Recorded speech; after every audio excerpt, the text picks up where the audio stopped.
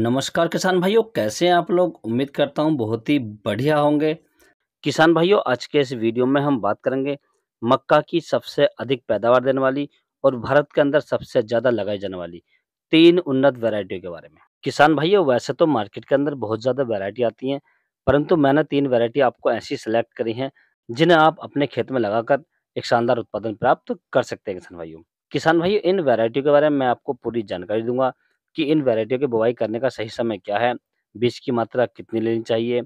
और किसानों, एक एकड़ में इस वैरायटी के कितने बीज लगाने चाहिए? भुट्टा कितने समय में तैयार हो जाता है? और इसके फ़सल पकने का समय क्या है? फ़सल पकने के बाद में हमें दाने की पैदावार कितनी प्राप्त होती है किसान भाइयों? पूरी बात करेंगे, पूरी जानकारी देंगे इस वीडियो के माध्यम से। तो आप वीडियो को पूरा देखें, अंत तक देखें ताकि आपको सही जानकारी प्राप्त हो सके। और जो किसान भाई चैनल पर पहली बार आए उनसे रिक्वेस्ट है कि वीडियो को लाइक करें, चैनल को सब्सक्राइब करें और पास वाली घंटी को भी दबा दें, ताकि हमारे आने वाले ऐसे ही वीडियो आपको सबसे पहले प्राप्त होते रहें। किसान भाइयों मार्केट के अंदर इतनी वैरायटी आती हैं जिन्हें हम गिन नहीं सकते, परंतु कौन सी वैरायटी अच्छी है, कौन सी का हमें सलेक्शन करना चाहिए, कौन सी वैरायटी किस समय लगाई जानी चाहिए, ये पूरी नॉलेज हमें मक्का की बुआई करने से पहले होनी चाहिए किसान भाइयों। यदि हम गलत वैरायटी का चुनाव कर लेते हैं तो कभी कभी आपने देखा होगा कुछ किसान भाई ऐसे हैं, जिनकी मक्का की फ़सल लगा देते हैं और दाना जब बनता है तो भुट्टा खाली रह जाता है, अर्थात उसमें दाना नहीं पड़ता है। तो मक्का की फ़सल को हमेशा टेम्परेचर के हिसाब से लगाना चाहिए और मक्का की जो खेती है, वो सबसे ज़्यादा की जाती है, वो खरीफ सीज़न में की जाती है। अर्थात बरसात के सीज़न में जब मक्का की खेती की जाती है, वो सबसे बेस्ट होती है। उस समय भुट्टा भी अच्छा आता है, लंबा आता है और दाने भी भरपूर मात्रा में भर जाते हैं किसान भाई। तो किसान भाई, आपको जो आपकी मक्का की बुआई करनी चाहिए और समय से करनी चाहिए। जिस वैरायटी का समय जो चल रहा है, उस समय करनी चाहिए। और जिस समय आप मक्का की बुआई करें आपको भरपूर मात्रा में गोबर की खाद डालनी चाहिए किसान भाइयों।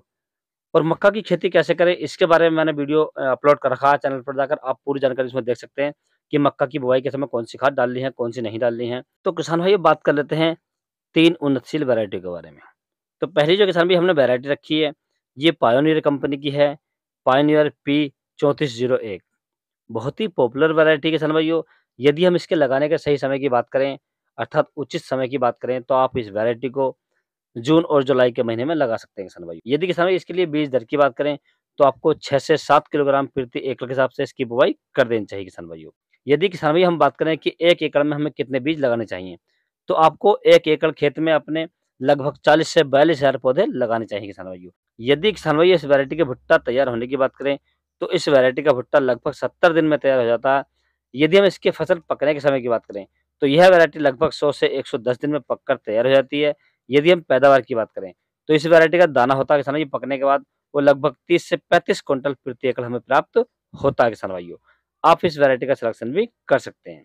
किसान भाई, दूसरे नंबर पर जो हमने वैरायटी रखी है, ये सिजेंटा कंपनी की है एस छियासठ अड़सठ प्लस आप इस वैरायटी का सिलेक्शन भी कर सकते हैं। यदि किसान भाई, हम इस वैरायटी के बुवाई के समय की बात करें तो आप इस वैरायटी को जून और जुलाई के महीने में लगा सकते हैं किसान भाई। यदि किसान भाई बीज दर की बात करें बुवाई के लिए तो छह से सात किलोग्राम प्रति एकड़ के हिसाब से इसकी बुआई करनी चाहिए किसान भाइयों।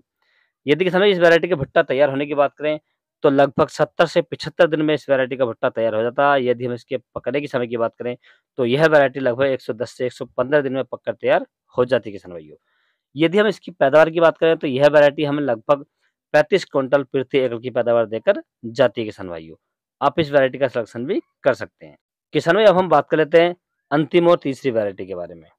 तो ये जो वैरायटी किसान भाई हमने रखी है, ये बायर क्रॉपस्टांस की है तो डेकाल इक्यानवे छब्बीस के नाम से आती है किसान भाई। आप इस वैरायटी का सिलेक्शन भी कर सकते हैं। यदि हम इस वैरायटी के लगाने के समय की बात करें तो आप इस वैरायटी को मई, जून और 20 जुलाई तक आसानी से लगा सकते हैं किसान यदि किसान इस वैरायटी के बीज दर की बात करें, बुवाई के लिए तो आठ किलोग्राम प्रति एकड़ के हिसाब से आप इसकी बुवाई कर सकते हैं किसान भाइयों। यदि किसान भाई इस वैरायटी के भुट्टा तैयार होने के समय की बात करें तो इस वैरायटी का जो भुट्टा लगभग पिछहत्तर दिन में तैयार हो जाता है किसान भाइयों। यदि किसान भाइयों हम इस वैरायटी के पकने के समय की बात करें तो यह वैरायटी लगभग 115 से 120 दिन में पककर तैयार हो जाती है। यदि हम इसकी पैदावार की बात करें तो यह वैरायटी हमें लगभग 32 से 35 क्विंटल प्रति एकड़ का उत्पादन देकर जाती है किसान भाइयों। यदि किसान भाइयों आप इन वैरायटियों को सही समय से देखभाल करते हैं और समय से खाद पानी लगाते हैं तो आप इसकी जो हाईएस्ट पैदावार है लगभग 40 क्विंटल प्रति एकड़ तक ले सकते हैं, किसान भाइयों। यदि किसान भाई आपको किसी अन्य फ़सल के बारे में कोई जानकारी चाहिए तो आप मुझे कमेंट्स कर सकते हैं। यदि मेरे द्वारा दी गई जानकारी आपको अच्छा लगी हो, वीडियो पसंद आया तो वीडियो को लाइक करें, शेयर करें और चैनल को ज़रूर सब्सक्राइब करें। Thanks for watching my video.